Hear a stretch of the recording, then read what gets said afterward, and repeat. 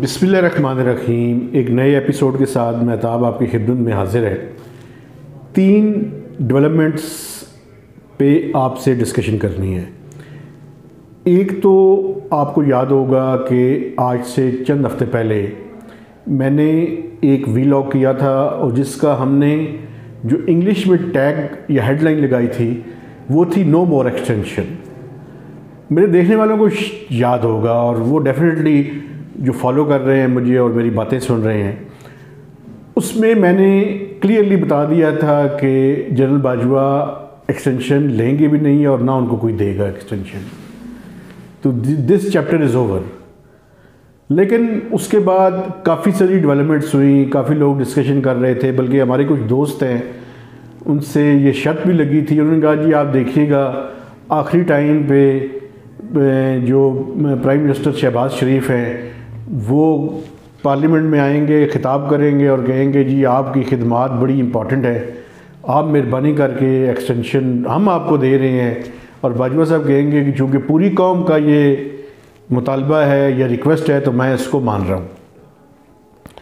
लेकिन मेरा जो पॉइंट ऑफ़ व्यू था, वो ये था कि देखें, एक पूरा अच्छा उन्होंने टेन्योर है और उन्होंने कंप्लीट किया और अब उन्हें घर जाना घर चले जाना चाहिए। क्योंकि उसकी वजह ये है कि ज़्यादातर नागजीर लोग जो हैं, वो एच एट के कब्रिस्तान में दफन हैं। तो इंस्टीट्यूशंस को मज़बूत करें, बजाय इसके कि शख्सियत परस्ती में हम जो है, वो ज़्यादा चले जाएँ या कुछ शख्सियात को बहुत बड़ा चढ़ा कर पेश करें। तो बड़ा अच्छा फ़ैसला हुआ, बड़ी पॉजिटिव डेवलपमेंट हुई और अल्टीमेटली चेंज ऑफ़ कमांड जो है, वो टेक प्लेस उन्हें जा रही है और जॉइंट चीफ ऑफ़ स्टाफ ने अपना अहदा संभाल लिया है और जो आर्मी चीफ हैं, वो भी ये जो हफ़्ता कल से शुरू होने वाला है, इसमें अपना चार्ज जो है, वो ले लेंगे। दूसरा, मेरी आपसे एक और बात मैंने डिस्कस की थी कि इमरान खान साहब आएँगे। अब देखना ये है कि वो जलसा करेंगे या धरना देंगे। तो बुनियादी तौर पे वो भी कल मामला ख़त्म हो गया। और जैसे मैंने कहा था कि इमरान खान साहब की पार्टी का मिजाज नहीं है कि वो दिसंबर के अंदर सर्दी में और इस्लामाबाद की सर्दी में वो ज़्यादा लंबी देर तक बैठ सके।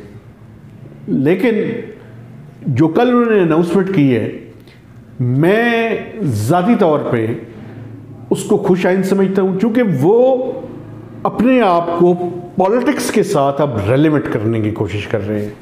लेकिन इसमें भी इफ्स एंड बट्स हैं। अभी देखना ये है कि खासकर पंजाब के चीफ मिनिस्टर उनको ट्रक की किस बत्ती के पीछे लगाते हैं।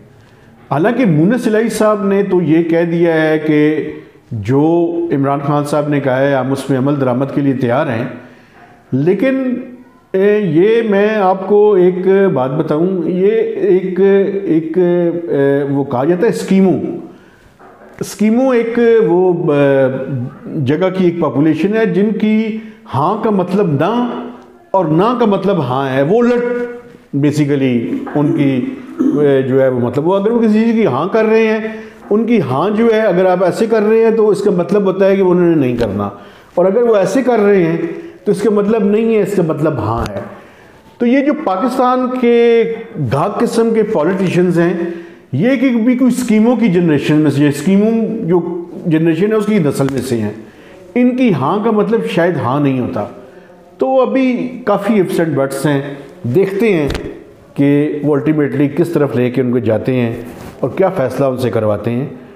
लेकिन एक बड़ी इंटरेस्टिंग बात है वो भी मैं अपने देखने वालों को जो है, इमरान खान साहब ने उस दिन रेजिग्नेशंस का ऐलान किया है, जिस दिन जनरल फैज़ हमीद ने फैसला किया है कि वो प्री मेच्योर रिटायरमेंट ले रहे हैं। तो जो उनकी असल सोर्स ऑफ़ स्ट्रेंथ थी, वो आर्मी से निकल रही है और ये पॉलिटिकल अरीना से निकल रहे हैं। ये भी बड़ा को है। ये भी बड़ी देखने और समझने जो वाकफान आल है, उनके लिए बड़ी इंपॉर्टेंट बात है कि एक ही दिन जो है, वो निकल के जो है, वो वो जा रहे हैं और देखें, वो फैज़ का शेर भी किसी ने, हालाँकि मैं समझता हूँ शेर व शायरी के साथ इस तरह का मज़ाक नहीं करना चाहिए, लेकिन वो क्या कहते हैं कि मकाम फैज़ कोई राह में जचा ही नहीं, जो कुएँ यार से निकले तो सूएदार चले। तो मकाम फैज़ कोई बचा ही नहीं। तो फैज़ साहब के लिए, जनरल फैज़ हमीद साहब के लिए कोई मकाम बचा ही नहीं था। तो उन्होंने प्री मेच्योर रिटायरमेंट का फैसला कर लिया और दोनों ने एक ही दिन फैसला किया। और तीसरी बात जो मैं आपके साथ करना चाहता हूँ, वो ये है कि अभी दो दिन पहले मैंने एक स्टोरी की। वो स्टोरी ये थी कि गूगल ने कि पैसे स्टकअप हुए हैं। डायरेक्ट कैरियर बिलिंग का एक इशू चल रहा है पाकिस्तान में। उसकी वजह से जो मोबाइल पे पेड एप्लीकेशंस हैं, वो यकम दिसंबर से जो है वो डाउनलोड होनी बंद हो रही हैं। तो इस चीज़ का नोटिस भिजवाया हुआ था उन्होंने। और हुकूमत ये जो मोबाइल कंपनीज़ हैं, इनको बता दिया था। और मोबाइल कंपनीज़ की रिक्वेस्ट पे ministry of I T P T A और चारों मोबाइल कंपनीज़ की तरफ़ से एक जॉइंट लेटर लिखा गया स्टेट बैंक ऑफ़ पाकिस्तान को और मिनिस्टर फॉर फाइनेंस को। भी ये लेटर लिखा जो minister for IT and technology में सैयद अमीन हक, उनकी तरफ़ से भिजवाया गया। तो उस पर स्टेट बैंक ऑफ़ पाकिस्तान ने एक क्लैरिफिकेशन दी और उस क्लैरिफिकेशन में उसकी डिटेल मैं थोड़ी देर में बाद आपको बताऊँगा।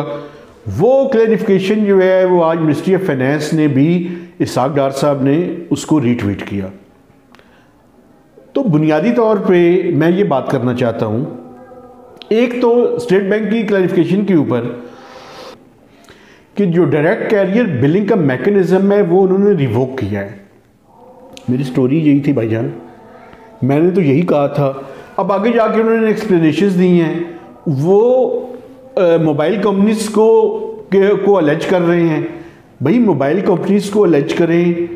और तो आप सबसे पहले डार साहब और स्टेट बैंक ऑफ़ पाकिस्तान के जो गवर्नर हैं, जमील साहब, आप मेहरबानी करके मिनिस्ट्री ऑफ़ आईटी और टेलीकॉम कंपनीज़ को मुतमिन करें। मेरी स्टोरीज की क्लैरिफिकेशन ब्राइट क्लैरिफिकेशन देने से फ़ायदा नहीं है।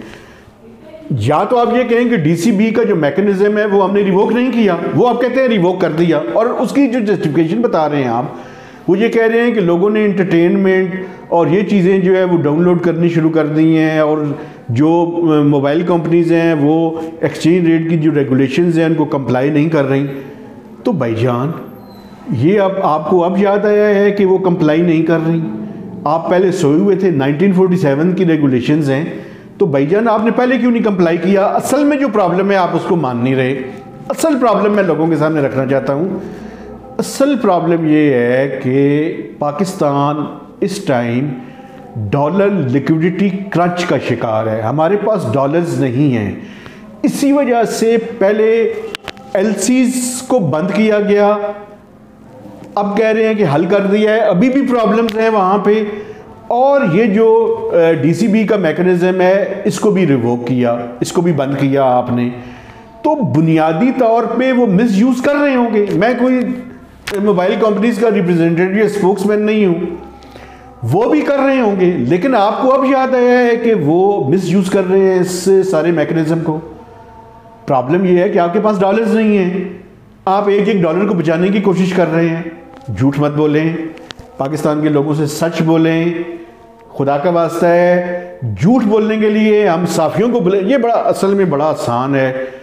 कि जी बेसलेस स्टोरी है। भाई बेसलेस स्टोरी है तो मैंने नोटिस भिजवाया है आपको। मिनिस्ट्री ऑफ़ आईटी का लेटर मेरे पास है। वो जो आपको उन्होंने लिखा है, आपको वैसे ही उन्होंने लिख दिया है, जो चार कंपनीज़ का लेटर है, वो मेरे पास है। अगर कहते हैं तो मैं दिखा देता हूँ। बुनियादी तौर पे प्रॉब्लम ये है कि जब एक झूठ को आप छुपाने की कोशिश करते हैं, आपको और झूठ बोलने पड़ते हैं। तो मेहरबानी करके आप हमारी स्टोरीज पे करें, कोई प्रॉब्लम नहीं है, जारी रखें। मसला ये है कि एक झूठ के लिए और झूठ बोलने पड़ते हैं।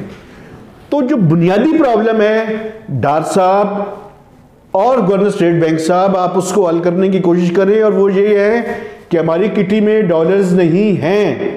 और अगर डॉलर्स नहीं है तो ये ख़तरे की घंटी है। और ये ख़तरे की घंटी है तो आप इस तरह के इकदाम से पाकिस्तान के लोगों से कब तक झूठ बोलेंगे? ना बोलें। डिसीव करने की कोशिश ना करें। धोखा ना दें।